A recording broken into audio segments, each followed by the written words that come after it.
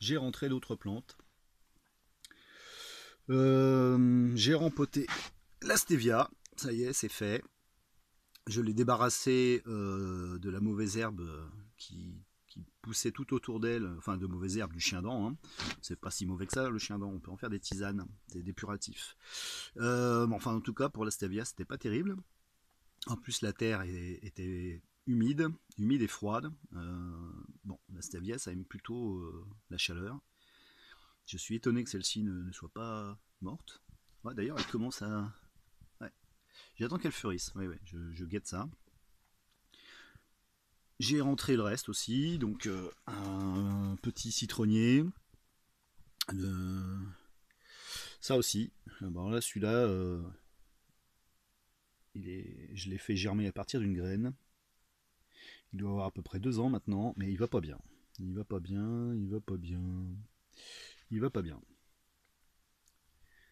Euh, bon, je suppose que pareil, la terre est trop humide, ça va pas. Donc euh, là pour l'instant, je vais les laisser sécher un peu euh, les pots, et puis après je verrai ce, que je mets dans l'eau pour, pour les booster un peu. Donc là dans la touffe là, ce sont mes boutures de théier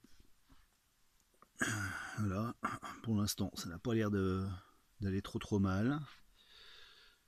Ça, c'était des tentatives de bouturage d'olivier, mais bon, pour l'instant, c'est crevé.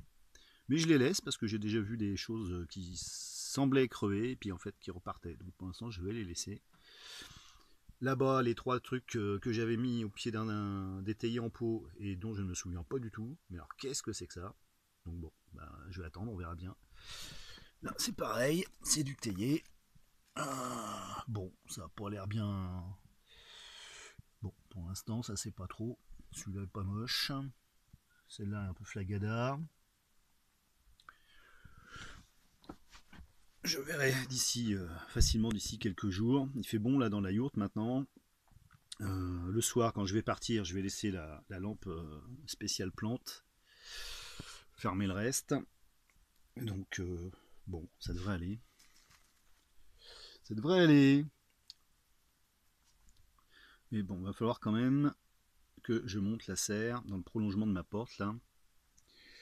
Parce que là, tout ça c'est bien, mais ça me prend un peu de place. Bon, en même temps, si j'en rajoute pas, là, ça va.